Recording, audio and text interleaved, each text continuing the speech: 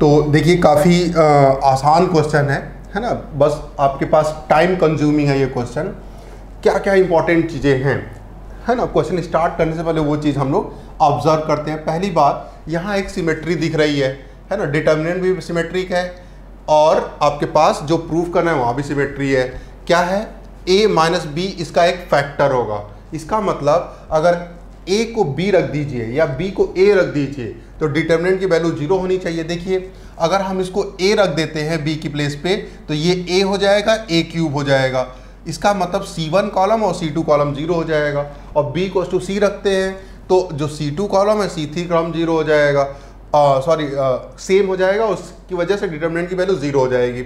और C minus ए मतलब सी और ए अगर इक्वल रखते हैं तो सी वन सी थ्री आपका आइडेंटिकल हो जाएगा. दैट मीन्स डिटर्मिनेंट की वैल्यू ज़ीरो हो जाएगी. क्या पता पड़ता है इससे कि A minus B B minus C और सी माइनस ए तीनों ही इस डिटर्मिनेंट के फैक्टर होंगे. वो साफ़ साफ़ आपको रिज़ल्ट में जो प्रूफ करना है वो दिख रहा है. हम्म।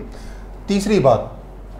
इस जब डिटर्मिनेंट को एक्सपेंड करेंगे तो उसकी डिग्री क्या होगी? वो तीन डिग्री होगा, चार डिग्री पॉलिनोमियल होगा, पाँच डिग्री होगा. होगा कितनी डिग्री तो आप बड़े आराम से सोच सकते हो कि अगर हम इसे आ, इस एलिमेंट के अबाउट खोलें तो ये आपका बंद हो गया ये बंद हो गया बी इंटू सी क्यूब चार डिग्री हो गया यहाँ से चार डिग्री हो गया ना? तो ये फोर डिग्री की एक्सप्रेशन जनरेट करेगा ठीक है? तो ये सारे आपके पास ऑब्जेक्टिव क्वेश्चंस करने के लिए स्किल होना चाहिए सारी चीज़ें ऑब्ज़र्व होनी चाहिए। कब पता नहीं क्या आपको इस्तेमाल करना पड़ जाए। खैर हम लोग सीधे क्वेश्चन पे आते हैं कि कैसे सॉल्व करते हैं। तो जब भी आपको किसी रो या कॉलम में मैक्सिमम वन मिल जाए वन वन वन है तो आप ज़ीरो बना लीजिए। वो भी कैसे? किसी कार्नर वाले को इस्तेमाल कर लीजिए और यहाँ और यहाँ ज़ीरो बना लीजिए। तो कौन सा ट्रांसफॉर्मेशन लगाएँगे? हम कहेंगे C2 को हम ट्रांसफॉर्म करेंगे C2 टू माइनस सी और C3 को भी ट्रांसफॉर्म कर देंगे C3 थ्री माइनस सी तो ये आपका ऑब्जेक्टिव होना चाहिए। क्वेश्चन कैसे स्टार्ट हो? है ना? तो कुछ ना कुछ तो क्लू होना चाहिए आपके पास। सपोज़ ये एल हो गया, ठीक है? आर को हम लिखेंगे नहीं। हम बस यहाँ छोड़ दे रहे हैं ताकि आपको दिखता रहे कि आंसर क्या लाना है। तो L H S become after this transformation पहले कॉलम को तो हमने आ, कोई भी ट्रांसफॉर्मेशन लगाया नहीं है पहले कॉलम में। तो इसको हम ऐसे ही कॉपी कर लेते हैं। यहाँ पे क्या हो जाएगा आपका? Zero and that is B minus A और यहाँ हो जाएगा बी क्यूब माइनस क्या हो जाएगा आपका? ए क्यूब ठीक है? उसके बाद फिर यहाँ पे क्या हो जाएगा आपका? Zero then C minus A ठीक है? क्योंकि आप सी वन में माइनस वन से मल्टीप्लाई करके सी थ्री में ऐड कर रहे हो। फिर क्या हो जाएगा आपका? C cube minus A cube हो जाएगा। ठीक है? अब, ठीक है? क्या हो रहा है? यहाँ से देखिए b माइनस ए कॉमन हो रहा है और यहाँ से c माइनस ए कॉमन हो रहा है। लेकिन यहाँ तो आपको b माइनस ए दिख नहीं रहा है। हम लोग ए क्यूब माइनस या X cube minus Y cube का फॉर्मूला जानते हैं। तो यहाँ पे क्या लिख सकते हैं? That could be written as A B minus A और दूसरी ब्रैकेट में लिख सकते हैं B square plus B C sorry B A और प्लस क्या लिखेंगे हम लोग? ए स्क्वायर ये आपका फॉर्मूला है X cube minus Y cube का। X minus Y X square plus X Y plus Y square ये आपको तो याद ही होना चाहिए, है ना? उसके बाद इसको भी हम एक्सपेंड कर देते हैं, ठीक है? उस आइडेंटिटी से। जो एल्जेब्रिक आइडेंटिटी क्लास एट्थ में पढ़ाई जाती है। अच्छा यहाँ से हटा देते हैं ना। तो यहाँ क्या था आपका? C cube minus A cube इसका मतलब एक ब्रैकेट सी माइनस ए आ जाएगा और दूसरा क्या आ जाएगा? सी स्क्वायर प्लस सी ए और प्लस ए स्क्वायर ठीक है? अब साफ़ साफ़ दिख रहा है ठीक है कि आपका आ, दूसरे कॉलम से बी माइनस ए कॉमन है। मतलब डिवाइड करेंगे डिवाइड हो जाएगा दूसरा कॉलम और तीसरा कॉलम भी सी माइनस ए से डिवाइड हो जाएगा। दैट मीन्स कॉमन हो जाएगा। तो हम लोग कॉमन कर लेते हैं। ट्रांसफॉर्मेशन लिख लेते हैं ना? तो ट्रांसफॉर्मेशन क्या हो जाएगा? आप कॉमन करने क्या लिखते हो? आप लिखते हो C2 कॉलम को हम डिवाइड कर रहे हैं B माइनस ए से एंड C2 C3 कॉलम को हम डिवाइड कर रहे हैं किससे? C माइनस ए से that is C3 after transformation determinant की वैल्यू तो चेंज होगी नहीं, होगी, है ना? क्योंकि b माइनस ए से आपने डिवाइड किया है तो आपको b माइनस एट टाइम्स करना पड़ेगा। तो b माइनस एट टाइम्स और फिर c माइनस ए से डिवाइड किया तो c माइनस एट टाइम्स तो अब डिटर्मिनेंट की वैल्यू अनचेंज रहेगी, है ना? जब आप मल्टीप्लाई कर देंगे। खैर, अंदर क्या बचेगा आपके पास? One A A cube because ये कॉलम ट्रांसफॉर्म नहीं हुआ था। ज़ीरो वन एंड यहाँ पे हो जाएगा आपका B square plus B A और प्लस ए स्क्वायर यहाँ पे क्या हो जाएगा आपका? Zero one C square plus C A और क्या है? सी ए प्लस ए स्क्वायर अब क्या किया जाए? अब देखिए, यहाँ पे भी वन है, यहाँ पे भी वन है। तो ज़ीरो तो बना ही सकते हैं हम लोग। यहाँ पे ज़ीरो बना लेते हैं। ठीक है, क्या करना पड़ेगा? कॉलम में फिर ट्रांसफॉर्मेशन लगाना पड़ेगा। अच्छा कर क्यों रहा है ये? फ़ायदा बाद में दिखेगा, क्योंकि आपको एक सी माइनस ए भी फैक्टर चाहिए था, है ना? सी माइनस ए फैक्टर खैर बी माइनस ए और बी माइनस सी फैक्टर चाहिए। बी माइनस सी आपके पास है नहीं तो जब ये ट्रांसफॉर्मेशन लगाएँगे तो आपके पास आ जाएगा। लेकिन क्या ज़रूरी है ट्रांसफॉर्मेशन लगाना? बिल्कुल नहीं। आपके पास एक रो में मैक्सिमम ज़ीरो आ गया एक्सपेंड कर दीजिए। अगले ही पल आपको आंसर मिल जाएगा। अगर आपको ट्रांसफॉर्मेशन नहीं लगाना है तो कोई भी हार्म नहीं है। आपको मार्किंग हो जाएगी। यहाँ पे मार्क दे दिया जाएगा और वहाँ पे ट्रांसफॉर्मेशन का मार्क्स दे दिया जाएगा। ठीक है?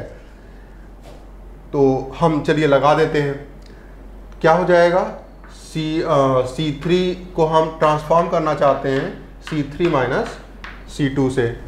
तो what's we get B minus A times C minus A and C three column transform करना है तो बाकी तो हम वही कॉपी कर ले। That is one A A cube ठीक है? उसके बाद ये भी अनचेंज है क्योंकि कोई ट्रांसफॉर्मेशन लगा नहीं है। तो B square plus B A और प्लस ए स्क्वायर यहाँ पे क्या हो जाएगा?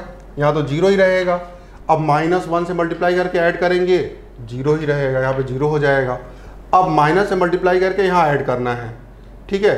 तो यहाँ देखिए माइनस ए स्क्वायर ला के यहाँ प्लस ए स्क्वायर में ऐड करेंगे तो ए स्क्वायर कैंसिल हो जाएगा। ठीक है? यहाँ माइनस बी स्क्वायर यहाँ प्लस सी स्क्वायर तो C square minus B square यहाँ लिख देते हैं C square minus B square फिर सी ए प्लस का और यहाँ से माइनस का बी ए हो जाएगा। ठीक है? तो यहाँ देखिए साफ़ साफ़ दिख रहा होगा कि फैक्टराइज हो रहा है। यहाँ से हम क्या लिख सकते हैं? C square minus B square को। सी माइनस बी और plus into C plus B तो that could be written as A C minus B times C plus B ठीक है? तो ये हो जाए C minus B times C plus B ठीक है नीचे ऊपर लिख देना है थोड़ा। अब देखिए, यहाँ से क्या कॉमन हो रहा है आपका? ए कॉमन कर लीजिए, या माइनस ए कॉमन कर लीजिए। जब माइनस ए कॉमन कर लेंगे सी माइनस बी चाहिए ना? प्लस ए कॉमन कर लेते हैं। तो प्लस ए कॉमन कर लेंगे अगर हम तो यहाँ पे आपका आ जाएगा सी माइनस बी अब देखिए, इस कॉलम से, ठीक है? कॉलम नंबर सी थ्री से सी माइनस बी कॉमन हो रहा है। ठीक है? तो नेक्स्ट स्टेप में हम क्या कर लेंगे? कॉलम में कॉलम से कॉमन कर लेंगे। और कॉमन करने के लिए आपके पास ट्रांसफॉर्मेशन क्या हुआ करता है? कॉलम से ट्रांसफॉर्मेशन कॉमन करने के लिए सी थ्री से कॉमन करना है तो वन बाई क्या कॉमन करना है? सी माइनस बी तो सी माइनस बी से डिवाइड कर दिया है एन सी थ्री तो डिटर्मिनेंट की वैल्यू चेंज होगी, मगर आप मैनेज कर लोगे सी माइनस बी से मल्टीप्लाई करके। तब वो अनचेंज हो जाएगी।